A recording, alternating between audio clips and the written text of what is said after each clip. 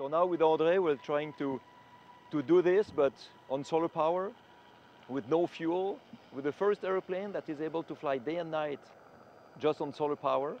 So it's a fabulous way, I believe, to promote clean technologies, to show what our world could do if we were really applying these technologies everywhere in our world. We have to understand that the technologies we have on board, if they were globally used everywhere, uh, also on the ground, would help our world to divide by two its energy consumption and provide half of the rest with renewable sources.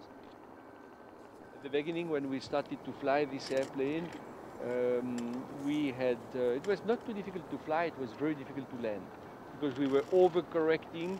We wanted to be in total control of what this airplane was doing. And uh, because of being impatient, we were always overreacting.